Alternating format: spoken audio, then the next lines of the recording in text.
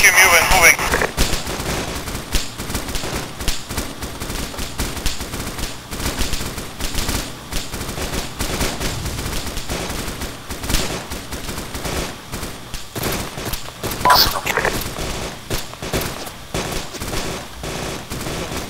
His gun's down, his gun's down.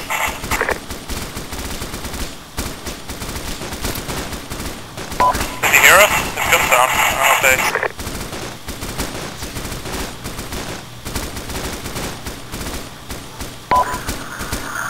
HQ, move on to the target.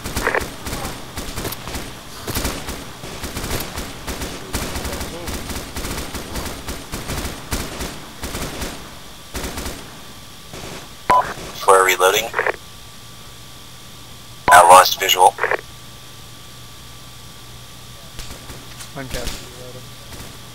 Oh, see, they told us to move onto the target, and they're still shooting. This is why I want to move on the target. I thought we were supposed to flank and take you out from the side.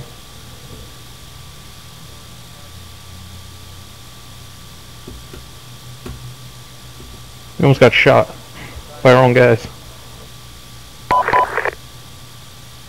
Did you tell us to move on? A, you're still shooting at us. Team 1360 on the target. East. We're west. Southeast. Lancaster South. South, southeast. Platoon green. Two green. Three gr- Four. Well, Oh, five. sorry. You're four. Pick a number, goddammit, and stick with it. Sorry.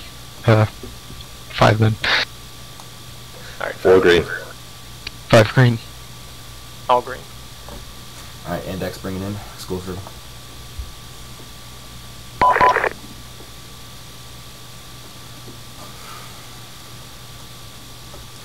Okay, I'm not going to run my mouth this time. We're going to do something called sustains and improves.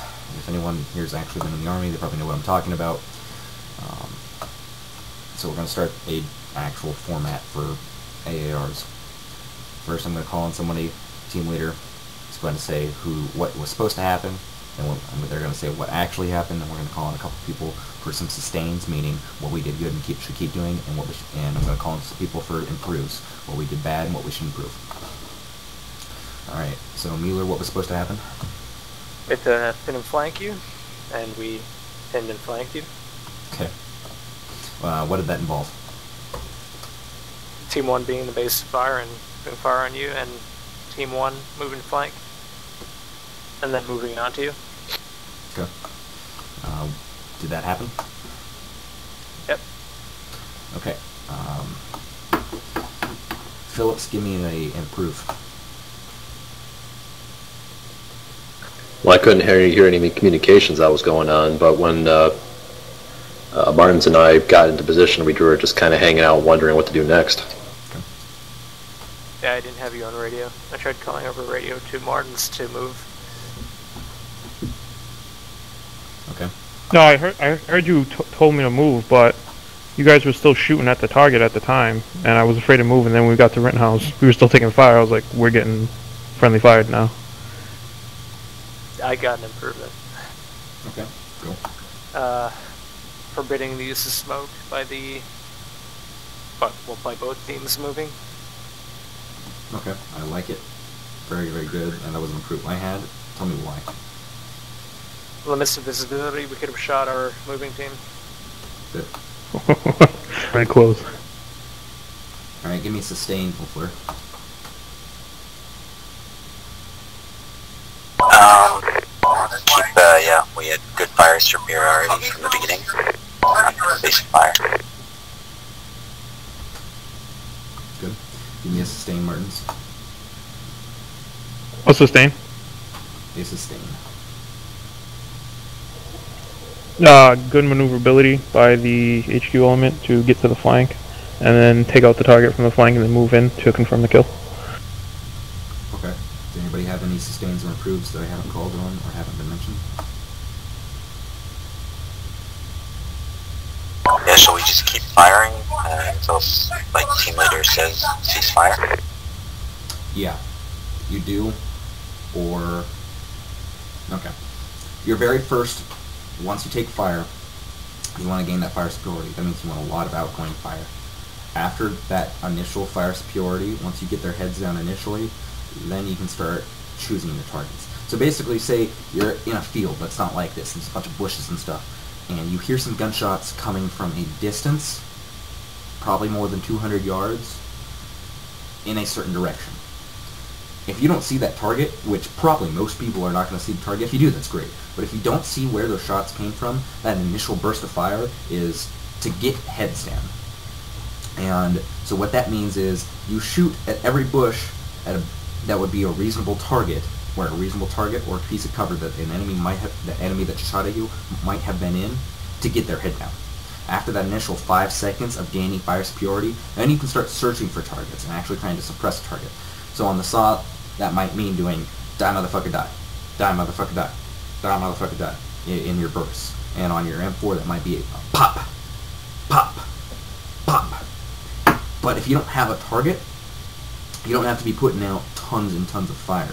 Just every once in a while, put a couple rounds at a likely enemy position if you don't see an enemy. And if you're not taking any for any fire anymore, the enemy might be dead, they might be bugging out, they might just be suppressed. So but you could slacken up your fire a little bit and just be use common sense with it. I mean, if they're not shooting at you, they're probably suppressed. You want to keep them suppressed. So keep putting fire on an enemy location, but you don't need to be going through all of your ammo in 30 seconds. Does that make sense? Okay. Yeah, perfect. Also, when you see that enemy target die or go down, so in our trainings, that's me putting my gun down, that means the enemy target's dead. Now, there might be more enemy targets, so it doesn't necessarily mean that you have to stop firing, but if your target just died and you don't see any more, it's probably, it's reasonable to slacken your fire again. Anything else anybody saw? Like how the HQ team moved behind the barrier. Did they move behind the barrier? I think. No, we moved along it. They did. Yeah. I didn't. I didn't know if that barrier was out of bounds or not of the exercise. So I was like, I'm just. It wasn't, and if you had used it, it would have been great. If you had not, whatever. It's fine. Anything else? Good.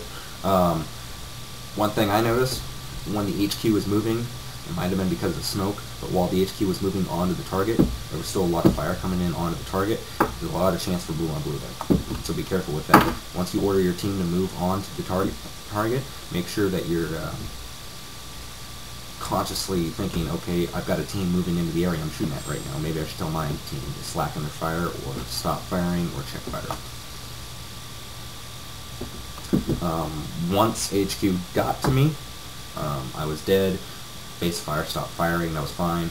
Um, then HQ both turned and looked at the team uh, that was shooting. That area is the safest area because you have friendlies in that direction. You want to be looking in any other direction when you're setting up your initial security. Granted, there were only two you. Any comments from anyone else?